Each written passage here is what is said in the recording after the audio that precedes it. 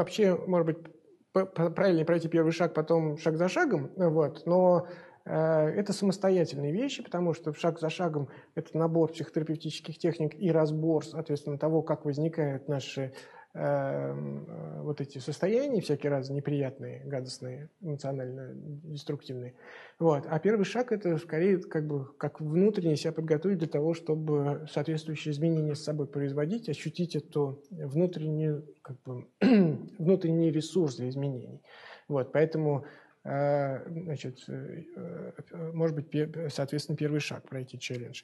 Вот. Может быть, если вы прошли шаг за шагом, и вы почувствовали что э, у вас появился такой внутренний ресурс, потому что что такое вообще борьба с неврозом?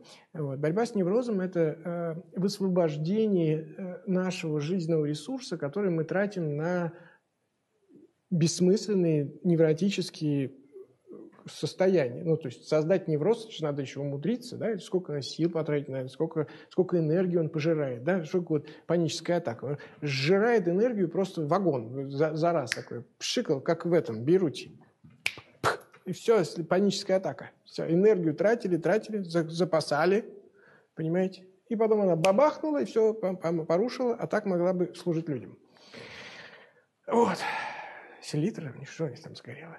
Кошмар. Вот, значит, да, вот, соответственно, если у вас освободились силы, потому что вы начали их эффективно использовать, вам нужно найти их применение. Значит, вот очень важно, мне спрашивают иногда, а вот мы справились, все, больше панических атак нет, как сделать, чтобы не вернулись?